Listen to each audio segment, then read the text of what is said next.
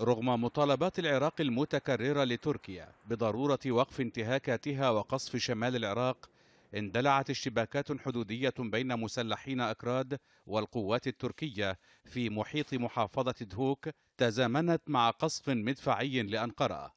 الاشتباكات دارت على قمة جبل خمتير الاستراتيجي بعد عملية إنزال للقوات التركية بواسطة طائرات عمودية أسفرت عن وقوع قتلى وجرحى. مدير ناحية كابيلون الواقعة ضمن محافظة السليمانية تحدث عن مقتل شخص وجرح ستة مدنيين من ضمنهم نساء وأطفال في غارة جوية تركية. في المقابل دعت الرئاسة العراقية في بيان لها إلى وقف الاعتداءات التركية المتكررة على أراضيها واعتبرتها انتهاكا صارخا لمبدأ حسن الجوار ومخالفة صريحة للأعراف والمواثيق الدولية أودت بحياة مدنيين. رافضة التصرف الأحادي في معالجة قضايا عالقة.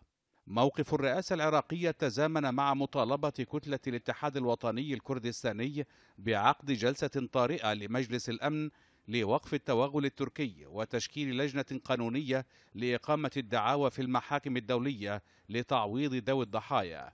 يذكر أن العراق قد طالب تركيا رسميا بوقف الانتهاكات والعمل معا لحل المشاكل المتعلقة بعناصر حزب العمال الكردستاني لكن أنقرة ما تزال ترفض ذلك.